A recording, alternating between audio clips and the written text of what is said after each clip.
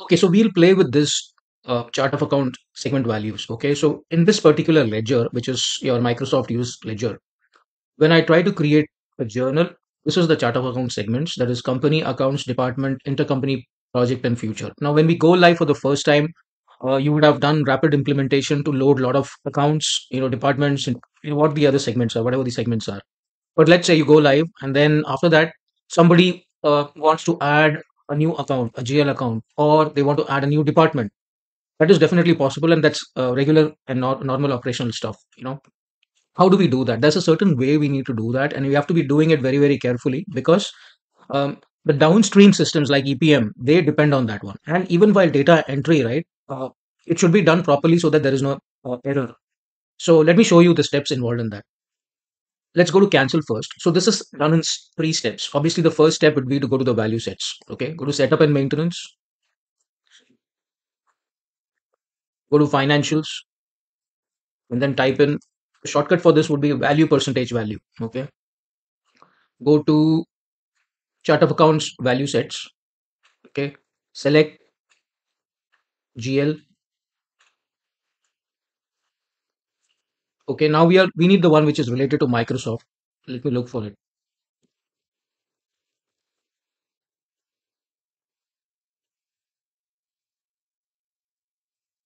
It's right here. Okay, Microsoft. Go to manage values and search for the values. So let's say these are all the different asset accounts, you know, liability accounts and things like that. So let's try to add something. Let's see what is there in the end. Uh, we'll see if there is any seven. Okay, we had one. We have one seven triple uh, double five double five. Let's say you want to add this. Okay, um, let's say you want to add a new one underneath this one. Not underneath. I mean, let's say we want to add a new one. So let's click on plus. Okay, and then call it this next sequence number. Okay, whatever the last number is, make sure that it is having the proper sequence number. Then you can say x, x, g, expense, whatever your expense number is. Okay. now, if you are going to be creating journal entries for that, then yes. If you're going to be creating budgeting for that, yes. Is it a summary account? No, because we won't be creating just a summary account. We will be always creating a child level account because that's where the actual journal entry will hit. Okay. Account type, let's keep it as uh, let's keep it as expense because we have given seven series. Okay, and all the other things are fine. In future sessions, we'll talk about financial category and how this is impacting uh, the reconciliation process. Okay, but for now, I'm just going to save it. This is step number one. Okay, save and close. Step number two is to go to something called manage account hierarchies. And now this is not just for the GL account segment.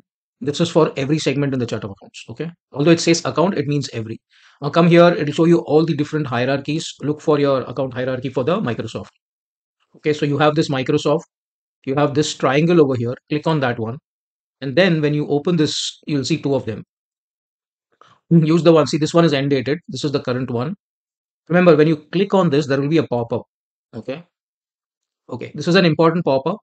And always remember to select this one because if you do not select this one and make any changes during runtime, remember, you might be doing this in production. Then certain things become inactive and that will cause a lot of problems. Okay. So remember to have this checkbox enabled. Click on OK.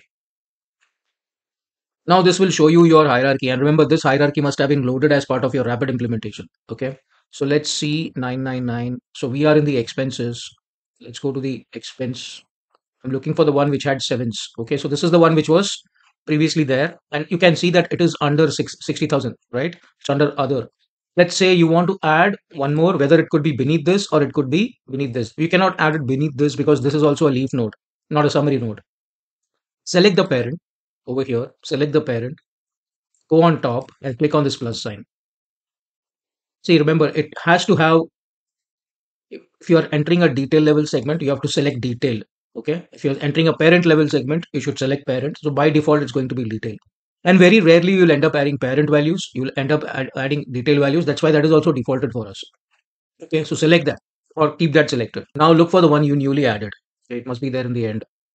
See, this is the one we newly added. Remember, we added this as part of step one. This whole thing is step two. Select this, bring it to the selected and click on OK. Okay. So scroll down and you can see that under this one, this is also added now. Okay. That, that was step number two. Go back and say submit. So it'll say tree version updated successfully. Click on OK. Click on done. So that was your second step. And then the final step, which is publishing the account hierarchies. Click on this one.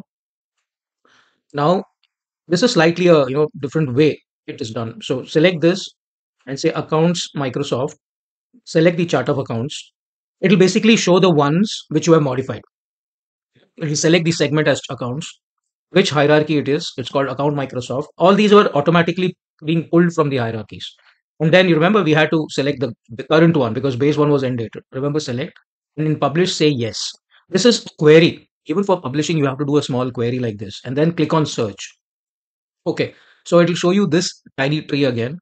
Click this triangle again. Okay, and then click on this. Click on this one and then click on the publish button. Okay, it'll say the published chart of account dimension members and hierarchies have been submitted. And actually, it also you can also do this by uh, bulk job, but you know in this particular scenario, I generally avoid doing any bulk jobs. Okay, so we can go and check the job. I generally avoid doing any bulk jobs because it's it's one of the most fundamental things, right? So I don't want any issues. So I do one by one. Sometimes even folks who are doing production support, AMS, they kind of get this kind of requirement. And there, there may not be any documentation straightforward available, but I figured it out once and I thought I'll just show it to you. Okay. So publish account hierarchies, these two are running. So let it keep running. This needs to be successful.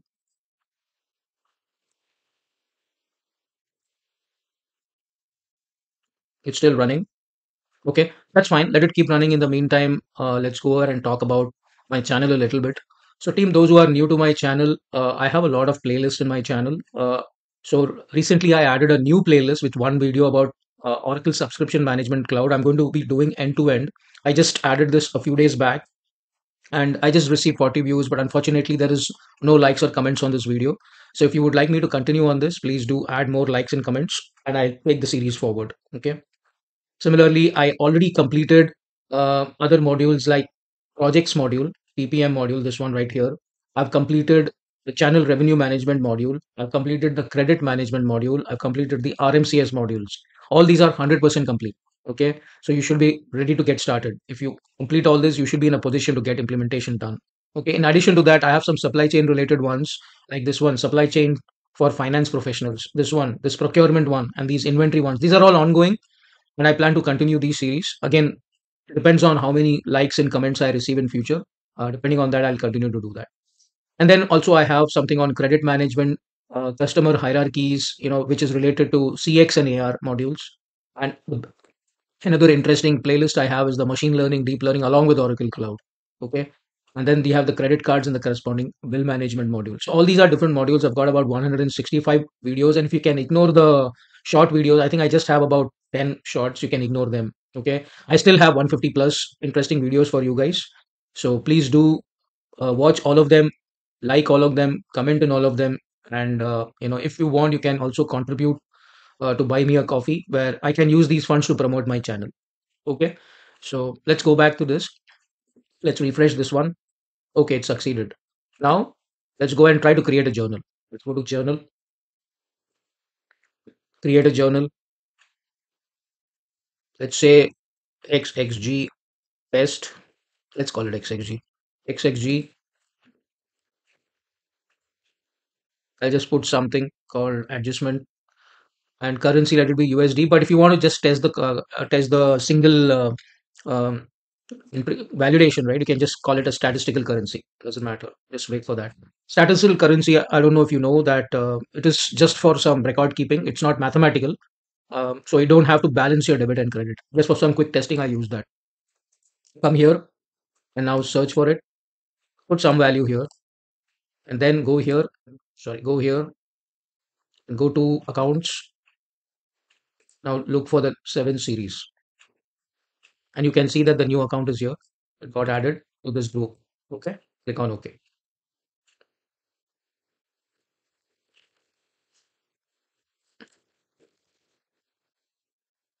and save it. So it's requesting for this one, like it's not necessary.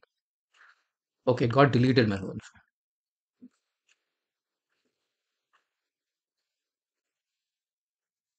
Let's come here. Let's do a selection. Let's put something here. I'm just trying to create a valid journal. That's all it is. Select this newly created account. click on OK. 100, 1000, save it. That's it. Complete and post. That's all it is. Okay. So because it's a statistical journal, you don't have to have a debit and a credit balance. If you want to know about statistical journals, uh, please do comment and I will have a detailed section on statistical journals. But that's what I wanted to show you today, team. I hope you enjoyed this session. Uh, like I said, please continue to watch all my videos, comment and you know subscribe and share and you know buy me a coffee.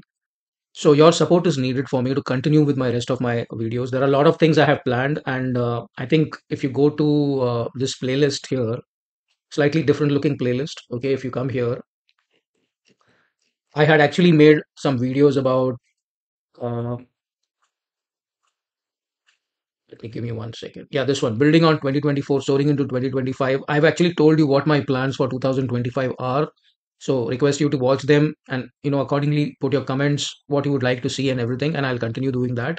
And I've also uh, put a similar video, secondary video, where I've shown you that 2025 plan. It's actually already in motion. Whatever I showed you here in this, that was a plan, and then one thing mentioned in that plan is already completed, and that's what I mentioned here. And then I've also added what the other things uh, which I'm planning to do. So definitely, this is a dedicated playlist about me and generally about me. And what my plans are for this channel okay? And there is one more playlist which is called unclassified. I think you should know about that too.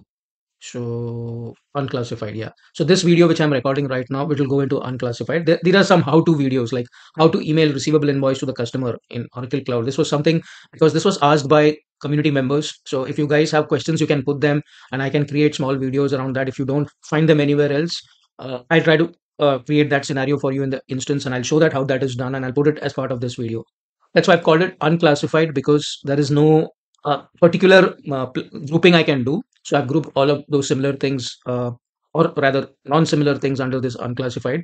If I take certain things forward, and if you know it becomes a separate playlist, then I can add it in that particular playlist. Like for example, chart of account segment values. You know there are some best practices which I discussed over here. Similarly, this is email. Uh, this is an old email where you know if I'm loading geography for the first time how does that work? Like very first time when you load geography in the instance because once it is loaded the way geography behaves is going to be different. But when you're doing implementation for the first time loading geography needs to be done in certain steps. And this one is an old video very old video which i've uploaded after making some edits. So you'll hear some click noises here. You can ignore that okay? So that's about this. This is about the security. These are some you know best practices for doing oracle implementations. Um, this is somebody asked me about frws studio. Uh, so i just created one video about frws and then this is about the licensing of uh, oracle cloud. So these are all unclassified. So similar videos i'll if there is certain thing which is not categorized under a certain playlist i'll come and add that over here. Okay? So that's it from me team. Um, let's reconnect in a future session. And like i said may the oracle be with you. And may the oracle be with all of us uh, throughout our career. Please do like comment share and subscribe. Thank you so much for your time